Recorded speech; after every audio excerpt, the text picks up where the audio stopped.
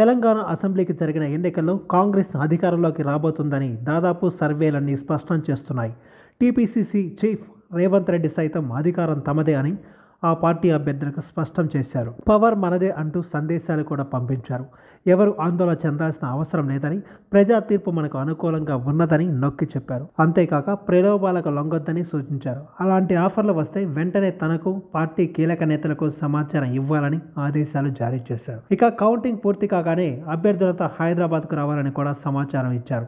ఇప్పటికే అన్ని సెగ్మెంట్ల అభ్యర్థులపై ఏఐసిసి మానిటరింగ్ కొనసాగుతుండగా రేవంత్ తాజాగా ఇచ్చిన ఆదేశాలతో అభ్యర్థులపై మరింత ఫోకస్ పెరిగినట్లు స్పష్టమైంది. రిజల్ట్ వచ్చిన వెంటనే ఆయా అభ్యర్థులను పార్లమెంట్ అబ్జర్వర్లు హైదరాబాద్కు తరలించాలని కాంగ్రెస్ పార్టీ పవర్ పాలిటిక్స్ ప్లాన్లను అమలు చేయబోతున్నది. ఎగ్జిట్ పోల్స్ అన్ని కాంగ్రెస్కి అనుకూలంగా వచ్చాయి. మరోవైపు బీఆర్ఎస్ నేతలు సైతం వారి గెలుపుపై ధీమాతో ఉన్నారు. పైగా గతంతో పోల్చితే ఈసారి పోలింగ్ శాతం సైతం తగ్గింది. ఇది తమకు అనుకూలంగా ఉంటుందనేది బీఆర్ఎస్ వాదన.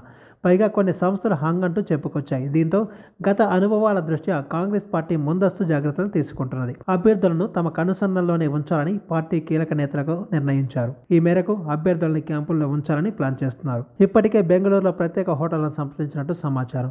గెలిచిన క్యాండిడేట్లను తెలంగాణ నుంచి కర్ణాటకకు షిఫ్ట్ చేయాలని కాంగ్రెస్ పార్టీ ఆలోచిస్తుంది. ఇది అంశంపై ఏఐసిసి నుంచి సలహాలు తీసుకుంటుంది. సోనియా రాహుల్ ప్రియాంక నుంచి అప్రూవల్ రాగానే క్యాంపులపై ఓ నిర్ణయం తీసుకోబోతున్నారని తెలుస్తుంది.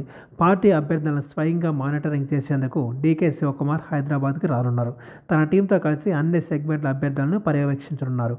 కాంగ్రెస్కి ఫుల్ మెజారిటీ వస్తే క్యాంప్ రాజకీయాలు ఉండకపోవచ్చు. ఈ వీడియో మీకు నచ్చినట్టయితే లైక్ చేయండి షేర్ చేయండి కమెంట్ చేయండి సబ్స్క్రైబ్ చేయండి.